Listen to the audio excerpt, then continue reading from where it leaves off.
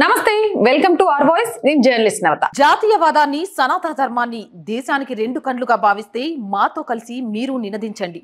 మాకు తోడుగా నిలవండి.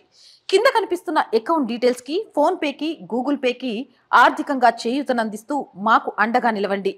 ఆర్థికంగా మీ చేయూత మాకెంతో అవసరం. రాత్రికి రాత్రి ఆలయాలను ధ్వంసం చేయడం ఆ చీకట్లలోనే దర్గాలు వెలిసిపోవడం ఆ వెంటనే ఆ భూమి వక్ ఆస్తిగా మారిపోవడం.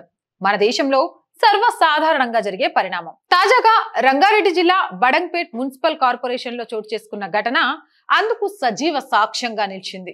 ఆదిబట్ల పోలీస్ స్టేషన్ పరిధిలో కుర్మల్గూడ జేఎన్ఆర్యుఎం కాలనీలో చాలా కాలంగా ఓ ఆలయం ఉంది. అయితే గత రాత్రికి రాత్రే కొందరు దుండగులు దాన్ని కూల్చేశారు. అక్కడితో ఆగకుండా ఓ గోడ కట్టి దానికి ఆకుపచ్చ రంగు వేసి జెండాలు పాతి దర్గా ఏర్పాటు చేశారు.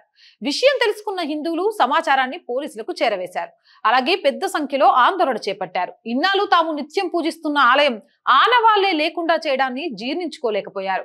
చిన్న పెద్ద అంతా కలిసి నిరసన చేపట్టారు. నినాదాలతో హోరెత్తించారు. భూమిని కబ్జా చేసేందుకు ఈ దుశ్చర్యకు ఒడిగట్టారని దర్గాను ఎలాగైనా అక్కడి నుంచి తీసేయాలంటూ డిమాండ్ చేస్తున్నారు. అయితే ఈ దర్గాను ఎవరు కట్టారనే దానిపై ఇంకా క్లారిటీ రాలేదు. అధికారుల అండతోని ముస్లిం మత పెద్దలు ఈ పనికి పూనుకున్నట్లు తెలుస్తోంది. ఎవరు చేసినా తక్షణం దర్గాను తీసేసి మళ్ళీ తాము పూజించే ఆలయాన్ని నిర్మించాలని పట్టుబడుతున్నారు.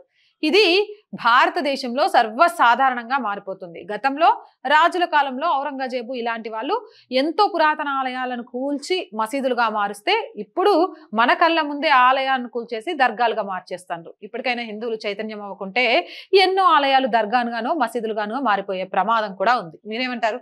కామెంట్ సెక్షన్లో పెట్టేయండి. మోర్ వీడియోస్ కోసం మన ఛానల్ వెంటనే సబ్స్క్రైబ్ చేయండి. నచ్చిందా? లైక్ చేయండి షేర్ చేయండి సపోర్ట్ చేయండి.